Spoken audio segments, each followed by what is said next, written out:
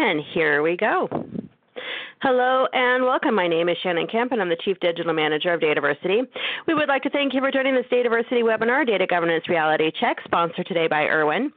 Just a couple of points to get us started. Due to the large number of people that attend these sessions, you will be muted during the webinar. For questions, we will be collecting them via the Q&A in the bottom right-hand corner of your screen, or if you'd like to tweet, we encourage you to share highlights or questions via Twitter using hashtag Dataversity. And if you'd like to chat with us or with each other, we certainly encourage you to do so. Just click the chat icon in the bottom middle of your screen for that feature. And if you'd like to continue the conversation after the webinar, you can continue the networking at community.dataversity.net. And as always, we will send a follow-up email within two business days containing links to the slides, the recording of the session, and additional information requested throughout the webinar. And a special note, today's webinar is built off a recent joint survey done by Erwin and Dataversity on data governance automation. The data was also used to generate a new joint white paper, the 2020 State of Data Governance and Automation, currently available on dataversity.net. Now let me introduce to you our speaker for today, Danny Sandwell. Danny is an IT industry veteran with more than 30 years of experience. As Director of Product Marketing for Erwin, he is responsible for communicating the technical capabilities of business value of the company's data modeling and data intelligence solutions.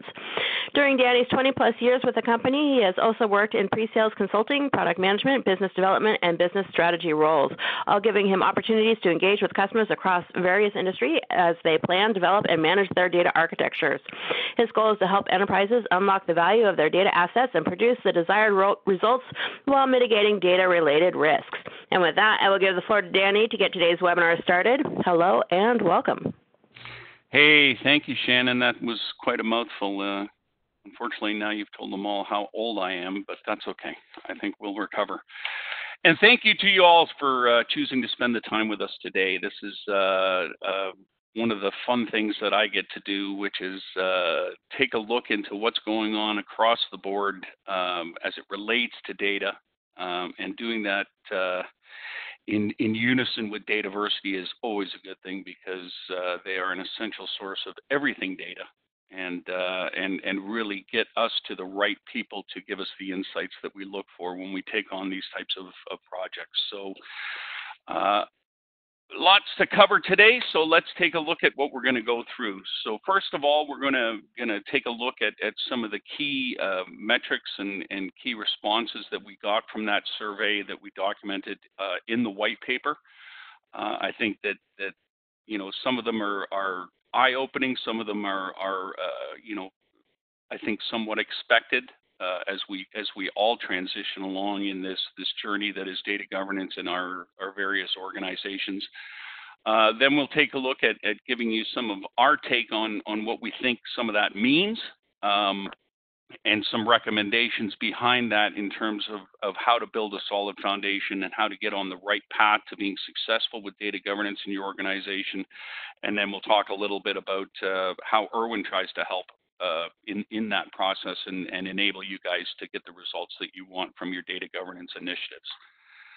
So this is uh, a great slide. I also refer to it as my no, most unnecessary slide because uh, if if you're not aware of this already or, or similar metrics that are that are being depicted on this slide, a, you, I think you might be living under a rock, and B, you might be on the wrong webcast. But uh, just in case everybody wasn't really sure, there is uh, and continues to be an enterprise data dilemma out there uh, in terms of, of the sheer volume, variety, uh, and and the veracity of data uh, as it exists in your organization and continues to grow. And you'll see uh, some big players out there that are that are looking at the data space, data management, data governance, data consumption, uh, all uh, understand that this continues to be a challenge and a challenge that's only going to grow as time goes on as we get uh, more of the same types of data in terms of huge volumes, but then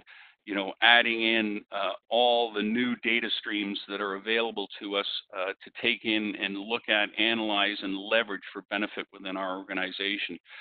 But all of this data, while it represents a, a, a unique opportunity for businesses, uh, also represents a big challenge, which is there's a lot of data out there that is that is uh, undocumented. Um, it's it's critical to the business, but not well understood in terms of how it relates to the business and how it relates to the questions that the business wants to ask and answer uh, in order to get the most out of their data assets. Um, and then, you know, really looking at, at what it takes to, to start to curate uh, the information around that data so that all sorts of different stakeholders in the organization can take full advantage of it and bring that value, uh, that true value that data represents as an asset to the organization uh, and, and get the insights that they need in order to drive the business forward in this, you know, in this day and age of uh, the speed of internet, uh, you know, the, the complexity of business in terms of how we relate to our customers, how we relate to uh, the different partners in the business. So it's an exciting time around data and having spent my entire career uh, in data, you know, really, you know, with the goal of, of trying to build a better data mousetrap for organizations for that very purpose of, of getting the most out of it. Uh, it really is is quite heartening to me to see uh, you know how important and the elevation and the visibility that data uh, is getting you know after all the years of of uh, looking at how infrastructure is going to make the difference or how applications are going to make the difference. It's really the data that gets delivered by that infrastructure and application uh, that really makes the difference to businesses. So in terms of a little housekeeping, and, and Shannon did a, a, a, great job setting this up, uh, but I'll just give you a little bit of a, a, deeper view into sort of you know what it is that we were we were doing, who we were talking to. Um, you know, uh, so as as you you heard, there is a, a white paper that came as a result of a survey that we did in partnership with Dataversity. Uh, it's the 2020 State of Data Governance and Automation uh, white paper. It is a follow on to a, a, similar survey that we did back in 2018. So you'll see some references to some of the historical uh, numbers and trends and some comparison to that. Uh, primarily surveyed North American organizations just to try to keep it, um, you know, in a manageable uh, uh, segment. The primary respondents, uh, as always, were the um, you know, uh, data management and data architecture roles, I think in and around uh, 30, 30 to 40 percent, uh, followed on by a, a, good chunk of information and data governance professionals. And again, these are all self-identifying. Uh, and then followed on by business intelligence and, and, other data analysts, data scientists, and executive management.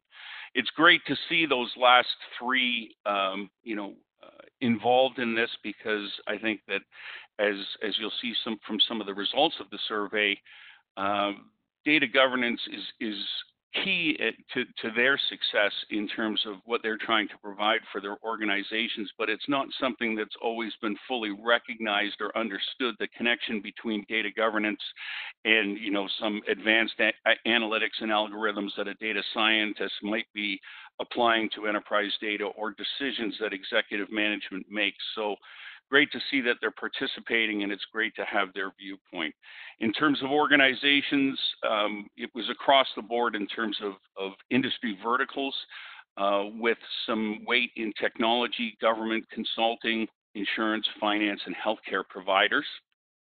And, um, you know, when we look at the size of organizations, uh, we had responses from, I think, all of the major categories in terms of size of organization, uh, with the, the majority being in that that sort of you know large I would call them large as opposed to very large organizations, but very large being after that. But uh, I think all organizations, regardless of size, feel the, the same pains. It's just the scale of those pains uh, and then their ability to really, uh, you know, put uh, bodies uh, funding and and uh, you know and, and and thought in terms of how to to solve that within their organization. In terms of why did we do this? Well, you know the the, the key thing here is is first we did the, the one in 2018, so we want to do a follow up to really see how things are changing, how things are progressing. Um, we really want to see, you know, how data governance is being viewed, especially uh, if you remember around 2018 uh, was when uh, GDPR, uh, in the EU was was imminent, uh, followed on by uh, California and a number of other jurisdictions really taking that GDPR framework and leveraging it to to start providing the same uh, rights for for their citizens and responsibilities for organizations that want to interact with their citizens. And then, of course, as a vendor, we really want to understand what's going on, what the current priorities are, uh, challenges, and things like that, so that we can target our solutions uh, to, to, to best support organizations in this uh, in this in this space. So let's get to the meat of it. So key drivers, and there's a number of drivers here. We ask people to to identify their top three uh, in terms of data governance slash data intelligence. Um, and and uh, as you'll see, their regulatory compliance is quite high. But what's interesting is compared to 2018, where regulatory compliance was number one, um, now we're starting to see other drivers uh, overtaking that and, and what I would call a, a sort of rebalancing of, of priorities behind and, and reasons to do data governance.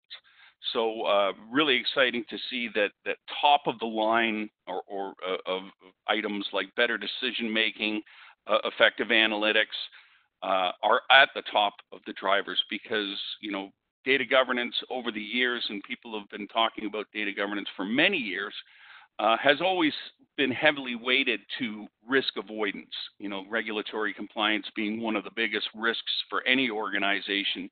If you're out of compliance, there's there's you know large negatives that can come along with that uh, in terms of, of, fines, but also you know your reputation.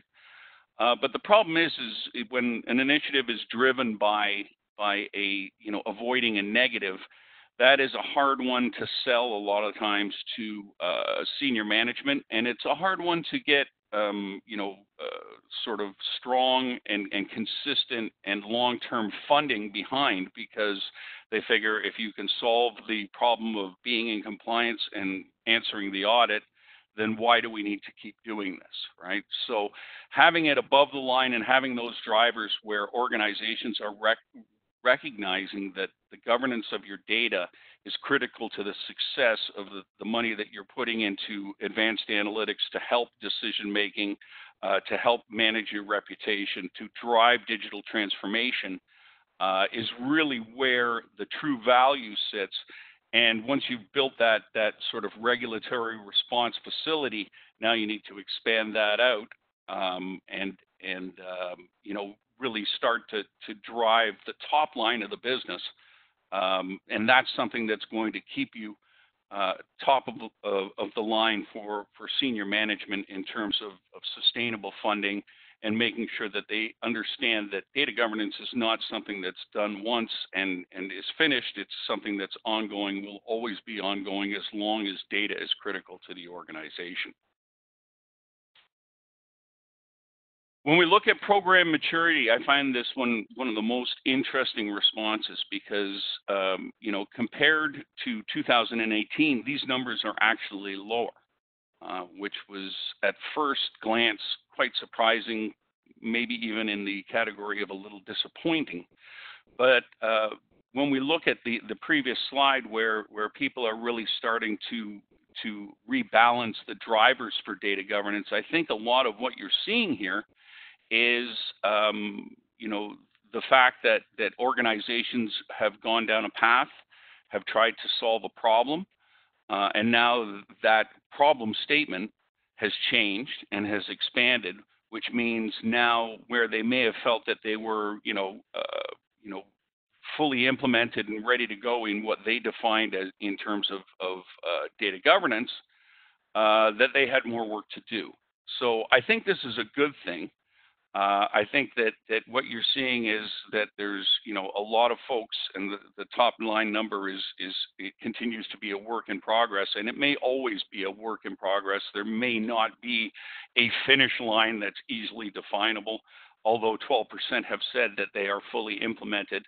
Uh, and it'd be interested to see what they've implemented and, and how they're approaching data governance. Uh, with more people just getting started and, and a good chunk of people in that sort of planning uh, stage. So interesting numbers, but again, uh, once you sort of think about them, not necessarily surprising numbers, if you will. So uh, from that perspective, let me see if I can just get this going to the next slide. Now, here we have, uh, you know, uh, some identification of data value chain bottlenecks because really data governance is to enable that data value chain to make sure that it's there, that it's available, but that it's also uh, trusted, usable, uh, and, and, and effective in, in delivering what it is that people expect. Um, and top of mind for most people, and again, not necessarily surprising from our perspective because we talk to a lot of large organizations and other organizations in terms of their priorities around opera, uh, operationalizing data governance. It's that document the, the, the data lineage story. Um, and, and, data lineage, in my mind, has always been down to, uh, at the end of the day, consumer trust in data. There's a lot of other folks that are interested in data lineage. It helps with a lot of different things in your organization, whether it's responding to audits, whether it's understanding as you build, uh, you know, some sort of uh, data hub, a data lake, a data warehouse, uh, and, and understanding where that data came from. But at the end of the day, it's the people that are making decisions and putting their reputation and their company's reputation on the line based on things that data is telling them uh, data lineage is, is at the core of what they do and the core of what they require to trust the data enough to make those decisions. Um, understanding quality sor- the quality of source data uh, at 58% coming in a close second. Again, not surprising, uh, you know, because we know that garbage in uh, equals garbage out when you do anything with data. Uh, and we're doing a lot more with data these days in terms of, as I said, analytics, uh, you know, artificial intelligence, machine learning, those types of things.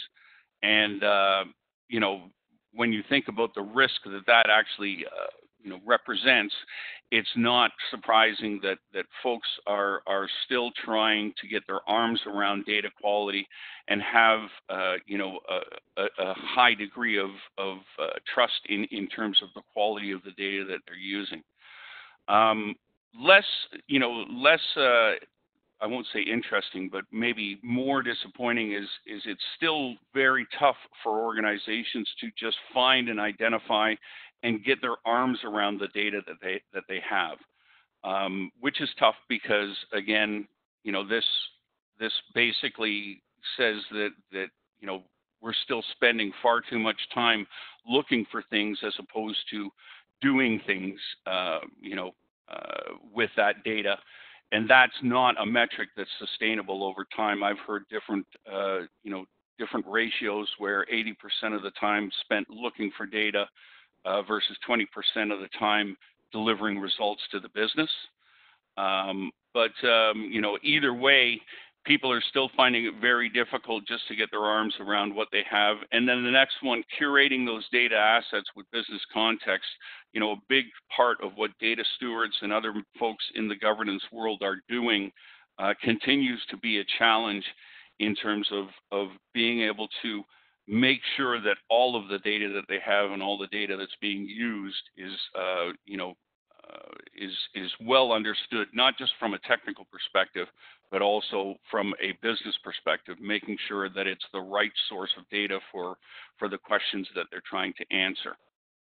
So um, in terms of, of you know, the, the biggest or the most significant challenge, um, again, I think uh, a lot of these are, are, potentially related to each other and people have expressed them uh, in different ways. So if you look at the top number, which is length of project and delivery time, um, you can directly tie time to value uh, to that because the length of that project delivery time is you come up with an idea and then you try to make that idea a reality and a solution. Uh, if the length of time to get there is too long, you may have missed the opportunity that was in front of you and the reason that you might be taking on that project. Uh, and then I think reliance on developers and other technical resources um, is is uh, another number that's tightly tied to that because it's manual work and and labor intensive work that tends to slow down and stretch out these these project delivery times um, you know from that perspective. And then again of course number two at data quality and accuracy uh, I think there's two aspects to that. There's the the idea that that is the data quality is you know a lot of duplicates is it the right data is there a lot of garbage entries in that data that's at one level but again, data quality in terms of quality to the, the hypothesis that we're trying to satisfy with that data in terms of fit for use, uh, I think can fit into that as well. So it's not surprising to see that still being a large challenge for organizations. So moving on, um, you know, this one was was interesting because I I would have thought that that the numbers would have been a, a little bit higher, uh, but uh, at the same time, maybe that's a good thing because it really depends on how people define uh, data activities. Uh, you know, it depends on your role, and it depends on on on you know what it is that you're adding to the mix. Uh, but there's a lot of folks, 70% of the people are, use, are spending 10 hours plus a week, and that number can go up to, uh, you know, I'm assuming up to 40, 60, depending on what the average work week is these days. Uh, and most of that time is spent on uh, source system analysis. So again, finding and uh, assessing fit for use. Um, you know, is is still taking a lot of people's time um, and then after that, it's it's you know preparing that data so that it's properly structured and ready to to deliver the answers that are going to be asked of it uh, in that analysis uh, piece as well. Um, when we look at data prep and and uh, technology in terms of what have people deployed, uh, again, very interesting. Um, uh, you know, data analytics, not surprisingly, is the top because you know analytics is the pointy end of the stick. That's where where organizations understand if they analyze their data, they're going to get the results that they're looking for. But it's uh, very heartening to see things like data catalog, uh, metadata management, which, quite frankly, for at least two periods in my uh, in my long career, metadata has and metadata management have been somewhat of a verboten or dirty word, uh, is again uh, raising uh, up in terms of how people are going about getting themselves prepared to be able to deliver data governance across their organization using that as the underpinning. Uh, data quality, and again, there's a lot of great solutions out there that will look at quality from a lot of different perspectives and, and then cataloging, which I think is still somewhat of an emerging uh, space where you know you have a lot of different things that are are referring to themselves as a data catalog delivered in many ways. Some of them are are you know more point or siloed type solutions. Some are are enterprise uh, viewed, but uh, a lot of people that are at least looking at, if not fully deployed, on data catalogs in your organization of some sort or fashion. And then, of course, uh, the thing that makes that data catalog really tick from a business per person's perspective, the business glossary. So I think they're all good numbers, and I think that people are understanding what it is that they need to put together in terms of, of uh, infrastructure to support this goal that they have around data in the organization. So, if we go, so now we start looking at, at automation. And when we look at automation, uh, automation is not strictly related to data governance activities, although with that large umbrella as we define data governance uh, in an organization, um, you know, they all touch governance and they all have an impact on it. But this is, you know, sort of uh, automation uh, around data, around data management, around data operations, around data consumption, and around data governance. Um, you know, mildly automated and somewhat automated, um, uh, again, are the top two uh, responses. Uh, very few people have uh, completely automated uh, you know, the data function in their organization. Although, uh, you know, last summer I did uh, uh, see a presentation by a, a chief data officer from a, a, large pharmaceutical who had, because of, quite frankly, the, the, the, profits and money that they were making, the ability to just bring in a fully net new end-to-end uh, data piece uh, that that took everything else and and basically replicated it in one space. And and you know that type of automation uh, is interesting in itself. I, I, I would like to see the long-term effectiveness of that, but uh, you know not everybody can really afford to do that. So interesting numbers. People are seeing that automation is part of the solution. Uh, they continue to struggle, I think, in terms of what to operate, or, or automate, where to automate. Uh, and then, you know, again, you always have that factor of different people defining automation in different ways.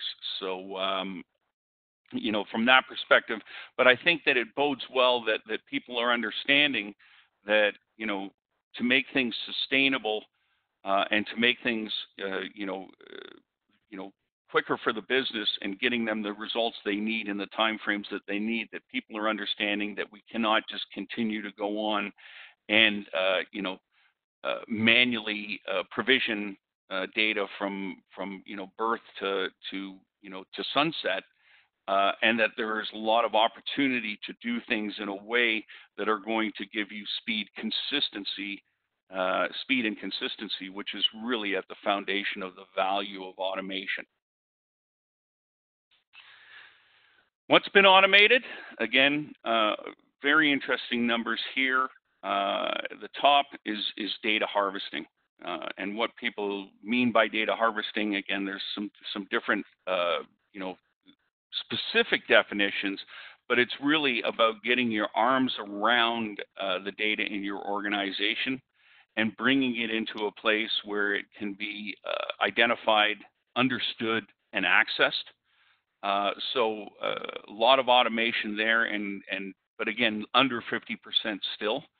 Um, mapping of data, uh, which is again I think a key and critical piece to success with data, is to be able to understand and get control of how data moves from one place to another in your organization through that data lifecycle. Uh, automating around data cataloging, and again, some of these can filter into each other uh, depending on how how folks uh, define it and how what their perspective is and what role they play uh, vis-a-vis the catalog and vis-a-vis data operations in general. Uh, data lineage, people are continuing to try to to you know overcome that that data lineage monster and they're starting to apply different levels of automation and there's some different you know approaches that are out there some are are sort of artificial intelligence oriented um, where you're going around and inferring uh, lineage based on uh, you know some machine learning or a set of rules or diff- different ways that that uh, organizations might do that. And then there's other organizations that take more of a bottom up uh, approach to data lineage, which is to really understanding how data moves through your organization physically uh, and then leveraging that to render meaningful lineage uh, to the organization in different perspectives. Um, code generation and impact analysis uh, kind of finish it off. The impact analysis, I'm surprised uh, because impact analysis is, is very important uh, in all of this because it is really your forward thinking. Uh, and impact analysis is much more than just what we would have considered back in the day where used uh, where if you you know want to change a column or something and you want to find out all the places it'll break uh, before you make that change so that you don't break them and have to fix them after the fact. Uh, impact analysis is going well beyond that, and the business is really starting to look at impact analysis in a much more holistic way uh, to start understanding the value of data uh, to the business as an asset.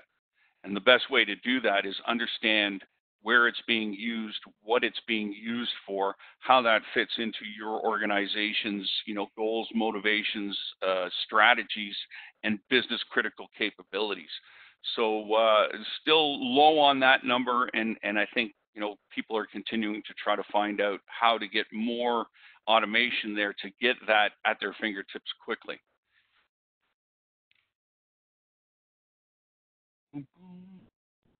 right.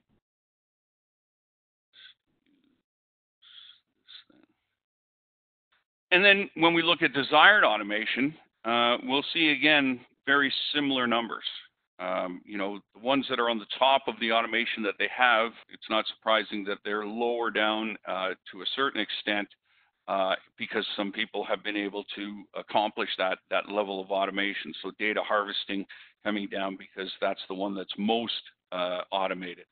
Uh, interesting to see data lineage taking the lead uh, again because of the importance across the business. Uh, and then it looks like, from my perspective, data cataloging uh, is something where people are looking for that capability in their organization uh, to deliver more uh, around in an automated fashion. Uh, same with data mapping and impact analysis. Uh, code generation, it's funny, you know, the same amount of people that have been able to implement code generation, you have the same amount of people that are looking for that. and code generation sort of seems to uh, when you at first look like it's outside of the realm of, of data governance. But uh, I think that what people are understanding is that in terms of time to value uh, and and speed of preparation and the ability to have self-service requires uh, you know a, a level of, of capability and automation around code generation because that's how things get built. That's how things get to where people need them to be so that they can access them. So uh, interesting to see that around code generation. Interesting to see how that number uh, is going to change uh, over time. So that is not all of the uh, questions from the, the, survey or in the white paper, but I think that these are some of the key ones that, that uh, I think are the most interesting, show, um, you know, and give you a visibility into how organizations are thinking about this and how they're approaching it. So this kind of takes us to, to, you know, our take on, on, you know, what does all this really mean uh, in, in terms of the world of the state of data governance and how folks are looking at automation. So, um, you know, as I said earlier, I think that organizations uh, continue to iterate on data governance from a strategy, uh, a goal, uh, and a uh, expected, um, you know, output from data governance or, or impact of data governance. Uh, they continue to try to get it right. And my feeling is, is because of the nature of the world we live in, uh, that will probably always be true. And I think, you know, as in another two years, if if and when we do this again, I'll be able to leave that on the slide because I think that that you know we don't know what we don't know. We don't know what's coming next. Um, so so you know data governance will always be fluid to a certain extent. It'll always be a living, breathing organism that that has uh, needs and and uh, you know uh, capabilities today but those needs and capabilities are going to continue to change over time. Uh, and in response to that, we're seeing that rebalancing of between risk avoidance and opportunity enablement, really trying to leverage the work that's being done around uh, you know, uh, understanding and, and, and getting our arms around data and curating it in an appropriate way that the business can take advantage of it in the most efficient and effective way um, is is something that's very important for data governance in general. As I said earlier, those are the things that that the C-level people in your organization, uh, especially the ones that are outside of the you know data realm specifically, are really looking for. How can we, you know, what are the, the initiatives and what are the projects that we can have that are going to help us transform our business to meet the challenges of today, tomorrow, and the day after that? Um, you know, uh, data discovery, preparation, quality, and, and, and, and traceability continue to be challenges. And folks are finding and looking at different ways and, and you know, trying out new ways to make that better in their organization. Uh, at all levels, you know, automation coming into that. Uh, the one thing that we can all agree on is that that every organization needs an accurate, high quality, real time data pipeline. Uh, at the end of the day, it's all about decision making and supporting decision making, whether those decisions are to help us avoid risk or to help us, uh, you know, take advantage of an, of an opportunity that's in front of us. Um, that pipeline needs to be there. It needs to be Uh, there needs to be very little latency in that pipeline. It needs to be easy to easy to access and easy to access in in an effective way for the organization. Um, and then, you know, I, I, think we're seeing some some clear indication that uh, you know automation, and not just at the governance level, not just at the the level of, of data intelligence, but right down through all of your data management, data operations, right out to consumption, uh, is something that's going to help all of these things along. The more that we can automate uh, the more that we will have, uh, you know, uh, what, what, I will call a, a sustainable uh, and repeatable practice that's out there that's going to, you know, reduce errors. It's going to improve all the things that we're trying to do with data. Uh, it's also going to build us a better architecture and infrastructure around data that makes all of the follow-on pieces uh, easier to work with, easier to manage over time, easier to move and adjust to the new challenges that we have not seen yet, but we know are coming down the pipeline. So in terms of recommendations, you know, you always have to be constantly, you know, reevaluating and tuning your data governance strategy. So if you are the CDO, if you are in charge of data governance, if you have that sort of, uh, you know, uh, panel of, of stakeholders that are, are there and really, you know, putting together and, and, and, and guiding and governing the, governing the governance, if you will, um, that that job never ends, that it's not something where people can go back to their day job. That's going to be something that's there forever.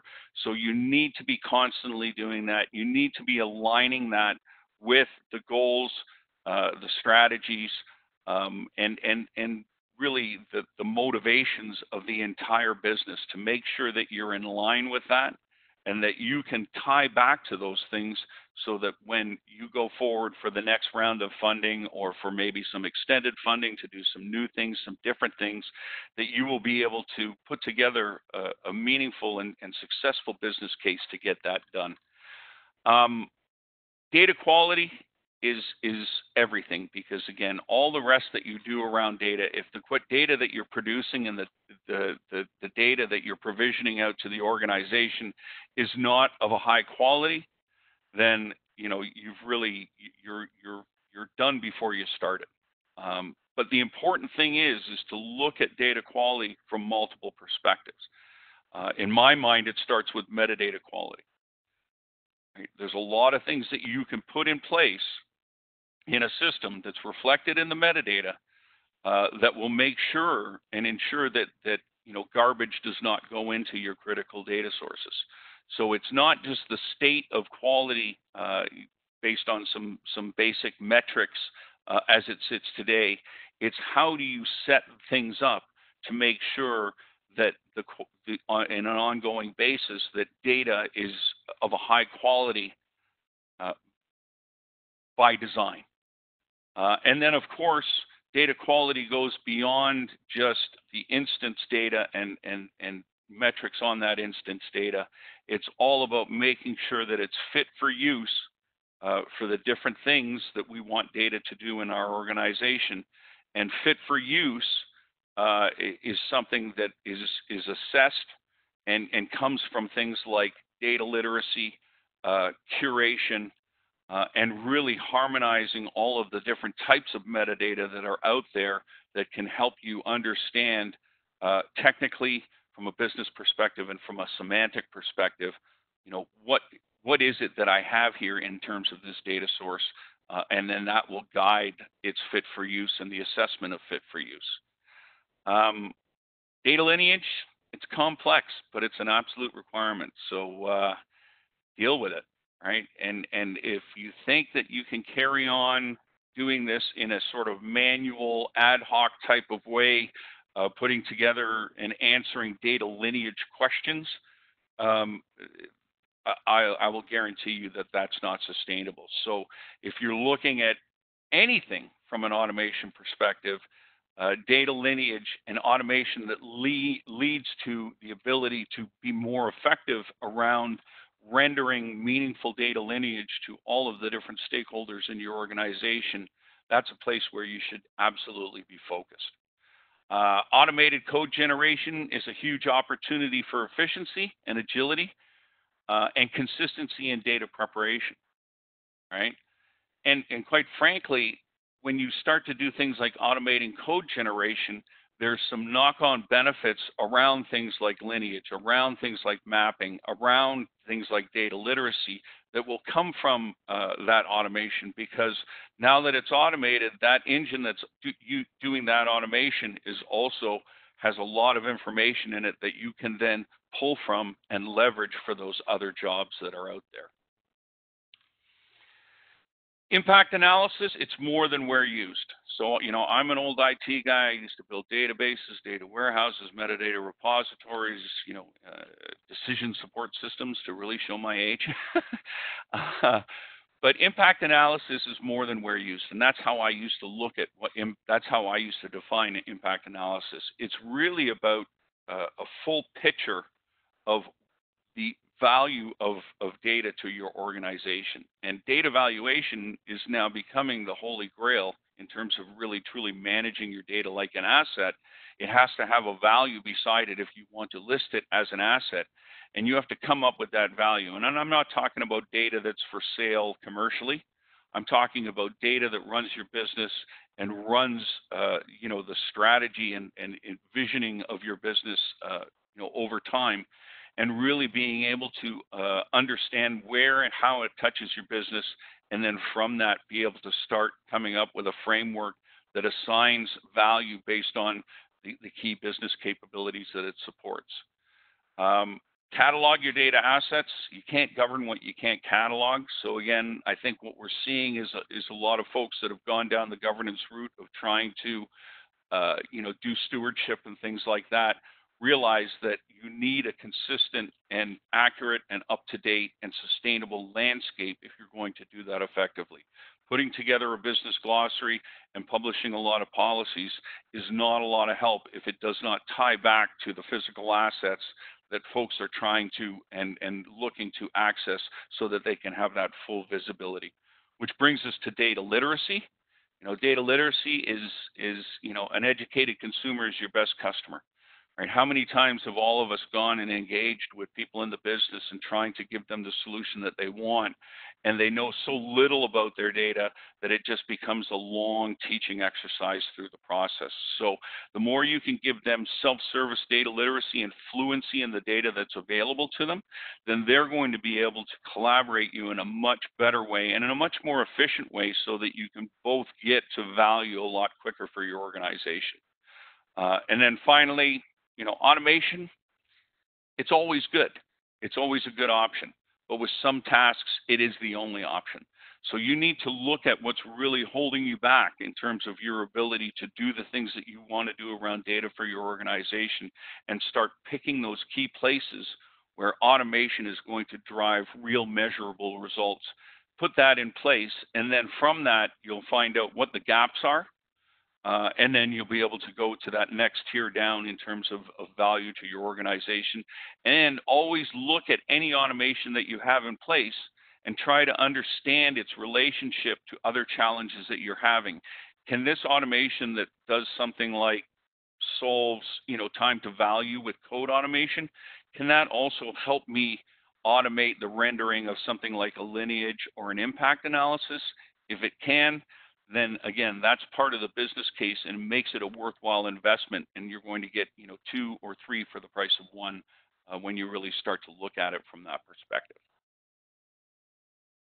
So we're just going to finish off. I want to leave some time for questions. You know, um, you know, this is something that that we, you know, promote as, as an organization, which is data intelligence is really at the core of solving the enterprise data dilemma. It's about giving a, a useful, usable, meaningful map uh, that, that has the perspectives of three major uh, constituencies in your organization data governance, data management, and data consumers where they can all bring that together. And in order to get that map, there's basically you know five major steps. First, you have to harvest what you have, so identify what it is and describe it at the physical level. You need to organize it so that you understand how it all links together and how it you know interrelates and, and, and interacts with each other. You need to curate that with the pieces that are missing, whether it's semantic or, or uh, you know other types of business metadata, so that it's fully fully you know formed, so that anybody coming to it can answer all the questions they might have about that to accelerate their their source system analysis uh, administrate that data, which is to, to say, make sure that, that the visibility is there, not just in terms of the assets itself, but the rules behind it, the policies behind it, any things like data sharing agreements, all of the things that are out there that, that make the mechanics and governance of, of, of uh, data uh, effective. And then you need to socialize that out to all of the different constituencies in their perspective um, you know, from one place where they can have one-stop shop. You know, I I envision, you know, Amazon for data. And if I have to pay Amazon for using their name in this presentation, I'm I'm fully willing to do that. Uh, you know, it's no longer the old Christmas catalog that we had where you got a, a book where you could read about things, learn about them, but you still had to go find out and go, you know, physically uh, go to a store that that potentially had that and and procure it now we want one-stop shopping where I can find out everything that I need about my data and then put it in a cart and give it to me and serve it up to me so that I can actually start using it uh, in a very, very timely fashion. When we look at how we approach you know, enabling organizations with data intelligence, this is what we call our Erwin Edge platform. Uh, this is a, a, number of capabilities that are available uh, in, in terms of solution suites or in individual components where we bring together all of the things that you would need to fully understand your data uh, in terms of how it's you know uh, physically persisted and managed in your organization, how it relates to key elements of the business, um, you know, uh, and then gives people all of the mechanisms and capabilities that they need to start doing what they need to do around data. So, you know, you know, beyond the the, the you know business glossary and data dictionary and data catalog uh, that's there uh, with visibility into data quality and profiling things like that. But then you have all of the architectural capabilities around that to allow you to get your arms around the business, uh, IT and its relationship to the business, data, data and its relationship to the business and the data and relationship to the use cases that are out there, as well as data and its relationship to each other throughout the life cycle, and then bring all that into a, a platform that allows you to, uh, you know, take advantage of of automation that will enable you to harvest what you have uh, really organize it, understand the lineage and impact, um, and and really collaborate in a self-service way, so that you know folks that need data can do a lot of the upfront legwork themselves, and then bring in the experts at the time where they have a well-formed, well-defined project, uh, and they can drive that out. When we look at a, a layer down into our data intelligence suite, you know, this is a combination of our data cataloging capability where we do metadata management, mapping management, reference data management, all under lifecycle control, a data literacy suite where you start to do stewardship activities and associating that with the physical assets and then putting it out to the larger community through a user portal. And then our data connectors, both standard and smart, which is the foundation of our automation offerings that allows you to automate everything from harvesting your data assets to rendering data lineage, rendering impact analysis, generating code, uh, documenting and auto documenting what already exists out in the world. Uh, and again, all of these pieces are things that you can either procure as a solution or if you have specific pain points that you need to to uh, solve and in an iterative fashion, all of these pieces can be uh, you know can be obtained and leveraged for value uh, individually, knowing that over time that value will grow as you bring more of those pieces together. At the end of the day, it's really about making data the fuel for success across the board. And uh, you know, none of this I think should be surprising for for anyone who's been listening to what I've been saying here. But but these are the things that your company wants to get out of data, and these are the reasons why you need data intelligence. Uh, and, and, and a clear architectural view of all aspects of the business in order to properly uh, focus that and, and deliver that in a way that's meaningful.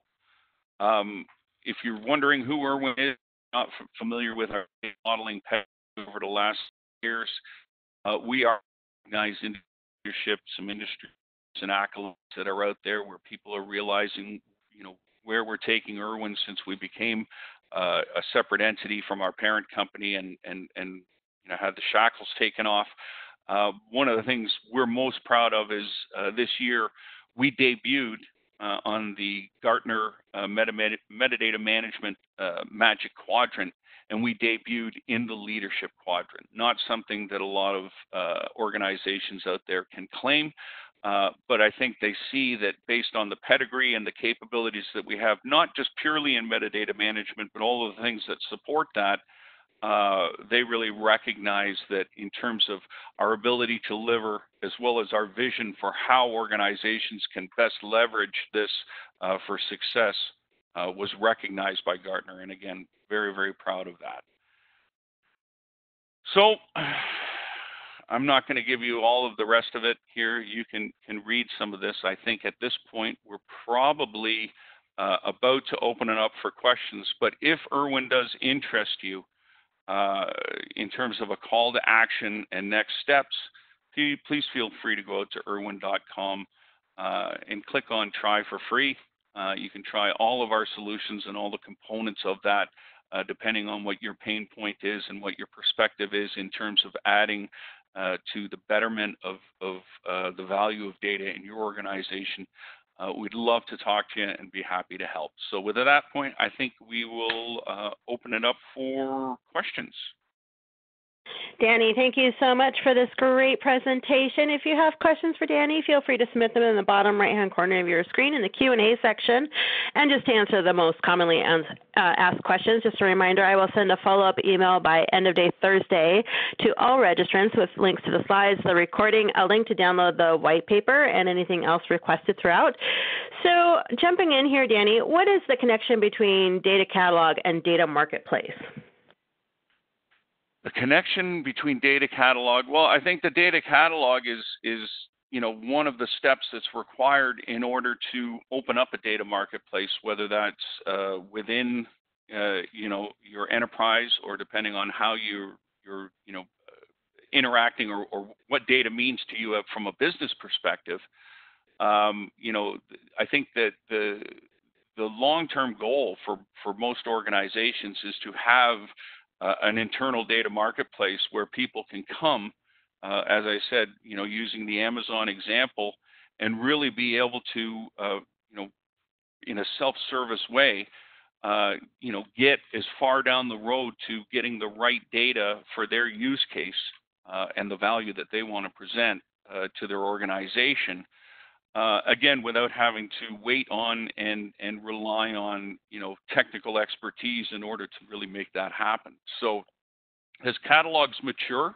and again, organizations, different different catalog providers have different um, uh, you know uh, definitions of a data catalog, if you will. Um, uh, but at the at the end of the day, the catalog is what's going to enable a marketplace because you can't have a marketplace if you've got nowhere to to find out, you know, what data is out there for me to access in that marketplace. So data catalog, I think, is is a step towards uh, that marketplace, and the more effective that data catalog is in terms of fully capable of not just giving you data, but helping you understand, analyze, and answer the questions that you have about data before you're going to use it, uh, the more effective your marketplace is going to be in a long uh, in the in the long term. So I hope that answers the question. Indeed, and and uh, I'm going to jump to this other question, which is along the same lines. So some of which you've answered already, but what does Erwin mean by the term data catalog, and what exactly what kind of things does it catalog? So our data catalog is is primarily metadata driven.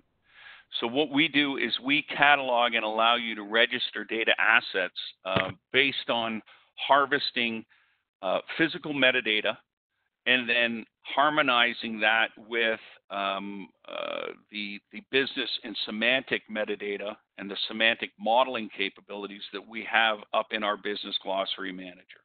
So that data catalog is really cataloging um, physical assets with pure, pure visibility and clear visibility into all of the other pieces that would curate those physical assets and make them more understood, uh, data quality metrics, the ability to actually profile and dig into data and understand uh, the instances. So that's what we mean by the term data catalog. Now, as we move forward and as we see the requirements of organizations, you know, long-term goal is to, you know, bring more things like, uh, you know, machine learning. We've already started to implement uh, elements of that uh, into the solution. Uh, you know, we've already automated uh, lineage and impact analysis. Um, but you know, starting to bring in you know more uh, smarts, if you will, around the auto categorization and cataloging of data in, into you know different uh, you know in, in, into different categories and things like that, and making sure that we can curate the data that way. Um, and then you know we continue to work on our our sort of end user interface into that data to make it the most effective for them to really navigate that catalog. Right now, you know, we have something that's called a mind map, which in it's it's a type of tool that I've used throughout my career to really help me look at large complex complex things and break it down. Uh, that mind map gives you a view in, a visual view uh, that is created by the system based on what you've queried and shows you all of the relationships and associations between all of the things that I talked about uh, and allows you to use that as your navigation and drill down capability into getting all those answers or all those questions answered that you want uh, as you go about figuring out what data is, is available to you and what data you want to use to solve the problem that you're trying to solve for your business. So, Danny, there continues to be a disconnect and to some degree unconscious lack of cooperation and empathy between impacted divisions within an organization. Uh, can you provide any example or case studies of organizations that have been able to overcome such challenges? Absolutely, absolutely. So uh, there's one out on our website. Um, um, uh, largest um, power provider, I guess, one of the largest in the world. They're called uh, E.ON, E-O-N, uh, out of Europe, and they had that very specific problem, uh, which is you know lots of things going on in silos, whether it's silos in the business in terms of how they want to use data, or silos in the, the folks that were actually provisioning and managing data for the organization. A lot of disconnects, a lot of wasted time, a lot of uh, you know recycling and rework that that went on with very little consistency, standardization, and at the end of the day, most importantly, uh, you know velocity behind their ability to you know from the time they they have a question for the data to answer uh, to the point that they can get that question answered with the data in front of them. So um, you know that they're you know again one of our our uh, you know success stories that you'll find out uh, on our website. I, I, would you know definitely tell you to go out and, and uh, look at that and, and read to see if if you can see some uh, you know affinity with the with the challenges that you might be having in your organization. Uh, you know, we, we have one of the largest, uh, you know, financial providers in the world uh, that are using longtime users of our, our data modeling technology and now are using our, our data intelligence solution again because of that exact pain point. They had hundreds of uh, er, you know hundreds of applications, thousands of data sources, all under the uh, you know control and and uh, ownership of different aspects of the business. Uh, you know, but at some point they all needed to come together uh, for the betterment of the entire business. But breaking down those silos, uh, really, you know, there was certain aspects. There was, you know, some turf war going on, and and you know, sort of holding on to your power. But uh, the biggest challenge was that nobody could see or envision something that was going to work for all of them and bring benefit for all of those different silos so that they could see that yes, by giving up this power or this control that I might have, I'm actually going to get more than that back in terms of benefits from participating in the larger collective. Uh, so you know that's a lot of the work that we do, especially you know down in the data management uh, uh, you know uh, dungeons and, and, and, cellars, if you will, um, where we, we break those silos down and allow people to see that that it's better to work together uh, because you're all going to you know uh, you know what's what's the saying as I get older, the sayings are never there like they used to be. But you know, everybody's going to to uh, you know rise with the tide, if you will. So you know, the, these concepts of, of uh, data intelligence, data cataloging, and data literacy are designed specifically to bring more benefit than any of those silos are going to lose by giving up that control. Um, and and you know, really making it, uh, you know, a, a no-brainer for them to become part of the solution, not part of the problem. Well, Danny, thank you so much, but I'm afraid that is all the time we have for oh, a lot of great come questions. Come on. I was oh. just getting warmed up. a lot of great questions still out there, but I will send those over to you and Benny um, so you can see those. Um, but thanks and thanks to all our attendees for being so engaged in everything we do and all the uh, uh, questions that have come in. just a reminder again, I will send a follow-up email by end of day Thursday for this webinar with links to the slides, the recording, a link direct link to download the white paper, uh, and uh, more information about Erwin. Again, thanks to Erwin for sponsoring, sponsoring, and Danny, thanks so much. Hope you all have a great day. Thanks, everyone. Thanks. Have a great day.